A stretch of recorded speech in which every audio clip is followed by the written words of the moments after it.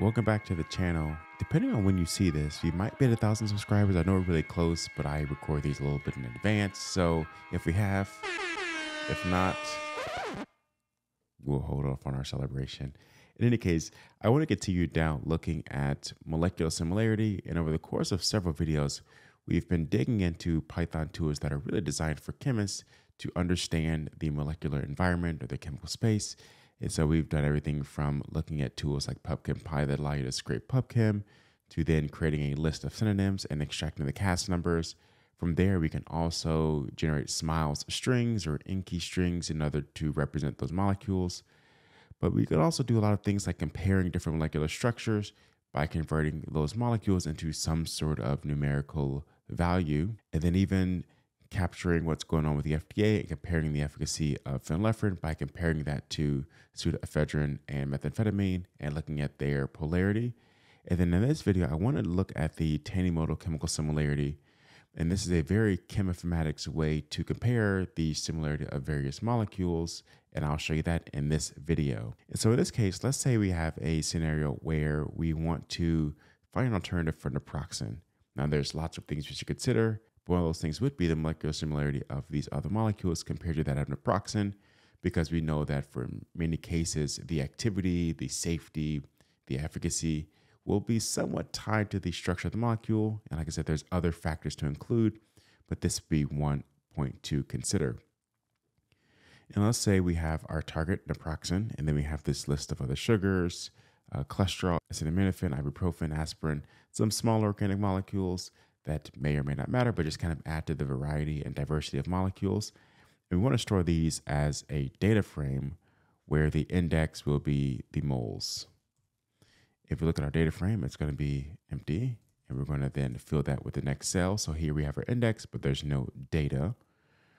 In this case, in the next cell, we will use this little list here, this pcp.getCompounds method, to actually go to PubChem and produce the chemical ID information for each of these molecules.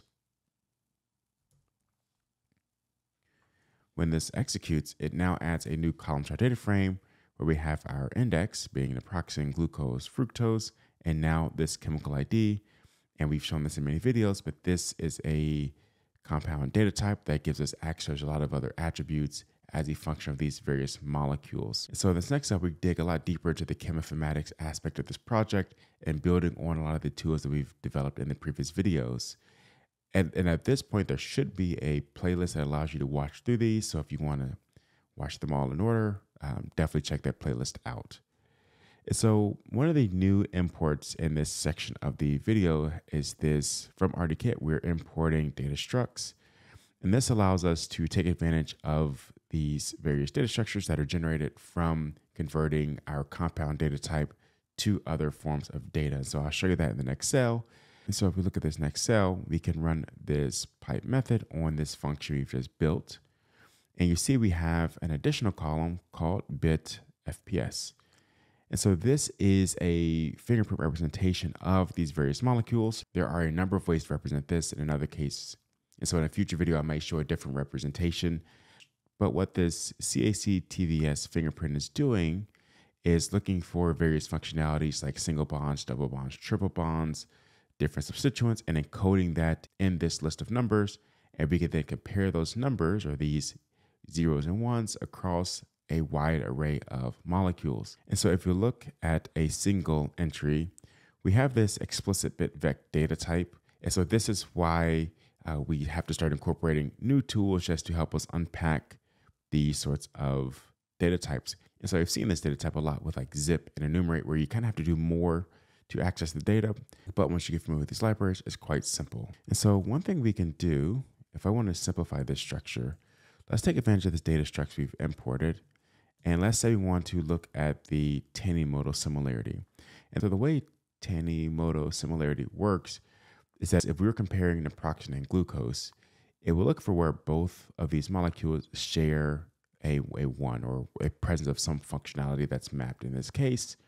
And will then compare where these molecules differ and give us a score that tells us how similar the overall chemical fingerprints are.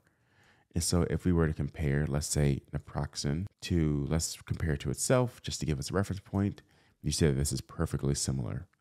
However, if we compare naproxen to ethanol, we get a much lower score, near zero. And of course, we would not expect these two molecules to be similar at all. And so this gives you some intuition about what this is doing. Now, if you recall in the beginning of this video, we have a target compound. We have this naproxen that we wanted to then compare against this full list of molecules. And so to do that more effectively than writing this out for each of these, we have now created a for loop that will make that assessment for us and store that information in this similarity dictionary. And so we're going to say for compound in moldf.index, recall that moldf.index is this list here. So this will dynamically update if we were to pass in a longer list or an augmented list of compounds. And so we're going to loop through this list here and then compare the Tanimoto similarity for each of these. And so we're going to look in this column and take our target. So in this case, we can just, I can show you what this output is there. This is that data structure that we have to pass in. And we can compare that to the compound that is being looped through and store that value as symval and then add that to our dictionary of similarity values. And so let's run the cell. It runs in almost no time. And if you look at our similarity dictionary, you see that we have our similarity data. So naproxen compared to itself is one. And then we have a list of values ranging from near zero to close to one as it relates to these various molecules. A good way to represent this is to just convert this to a data series. Recall that dictionaries essentially are data series, or data series essentially are dictionaries. And so now we have a better way to look at this data. We can sort the values and then we could plot that data. Uh, probably best to plot this as a bar plot. And we can see that based on the Tanimoto similarity, um, again, the proxy to itself would be one, but that aspirin, ibuprofen, and salicylic acid, as well as acetaminophen, are all pretty similar. There's a drop off between salicylic acid and acetaminophen. If you look at the opposite end, methanol, ethanol, caffeine are all very dissimilar. We have our sugars that are all pretty close to each other, but you know, far from naproxen. Now, the nice thing about when you start to write these data in a more dynamic fashion, we can also add other types of similarity data. So let's look at cosine similarity. We can run this again, everything stays the same. And now we would be plotting the cosine similarity which also will give us some approximation of the similarity between these molecules. There's a slight shift. You see caffeine is now the least similar, followed by the small organic molecules. The sugars stay together. Uh, there's a slight ordering difference here.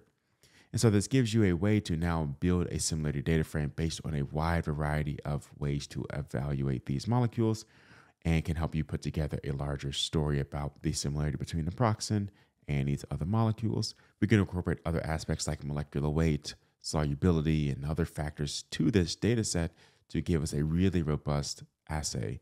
And so in future videos, I'll actually include a larger list of compounds so that you can see how these techniques really scale and how we can then build into other things we've done in other videos, such as data clustering, machine learning, unsupervised learning, and data visualization to tell really compelling stories around this molecular information. If you want to be notified, subscribe to the channel. If you enjoyed the video, like.